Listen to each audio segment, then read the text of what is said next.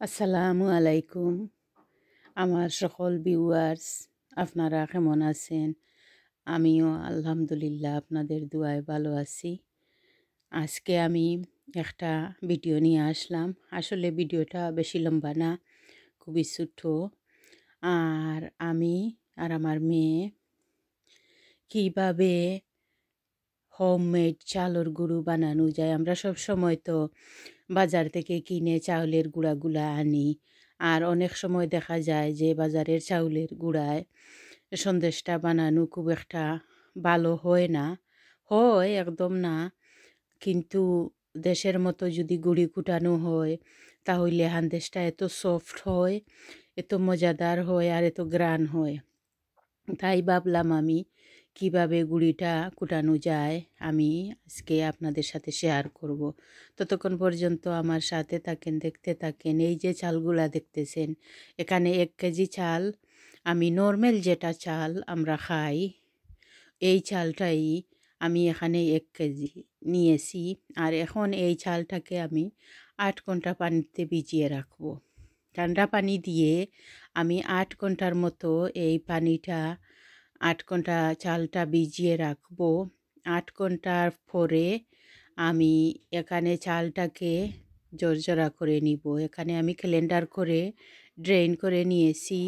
আমি এখন দু তিন ঘণ্টা অন্তত পক্ষে এটাকে আমি জর্জরা করে নিব। ফানিটা জর্জরা করে নিব। আপনারা চাইলে পেপারের মধ্যেও রাখতে পারেন। যদি পেপারের মধ্যে রাখেন, তাহলে এক ঘণ্টা পরেই আপনারা ব্লান্ডিং করতে পারবেন।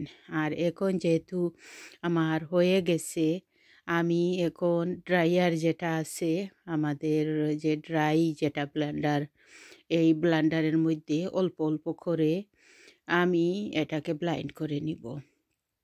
এখানে আমি একটু একটু দেখবেন একটু ফাইন হয়ে যখন যাবে তখন ব্লান্ডার করে আপনারা নামিয়ে নেবেন। এভাবে সবগুলা ব্লান্ডারিং করে দেখবেন একদিন বানিয়ে আপনারা যে কোনো জিনিস বানাতে পারেন। সন্দেশ, নুনর পিঠা, এরপরে সই পিঠা, মেরা পিঠা যে কোনো জিনিস বানাতে পারেন। এত মজাদার হয় আর এত সফট হয় গ্রান হয়। মনে হয় দেশে যে আগে আমরা এইভাবে চালের গুঁড়া কুটিয়ে ঈদের সময় হান্দেশ পিঠা করানো হতো আর কি মজাদার হতো, এইভাবেই হয়। এইগুলা সব গুড়িগুলা আমার ছোটো মেয়ে এগুলা প্ল্যান্ডিং করে আমার জন্য দিয়েছে। আমার ছোটো মেয়ে অনেকটা হেল্প করে আমাকে এ ধরনের কাজে, ওর ভালো লাগে আর সব সময় আমার পাশে থাকে থাকে। ছোটো তো সব সময় পাশে থাকে, সরালেও যায় না, সরালেও যায় না। আর এখন আমি অনেক দিন পর লং ড্রাইভে যাচ্ছি আমার ছোট ছেলের ঘরে। আমার ছোটোর ছেলের ঘরটা কিছুটা দূরে।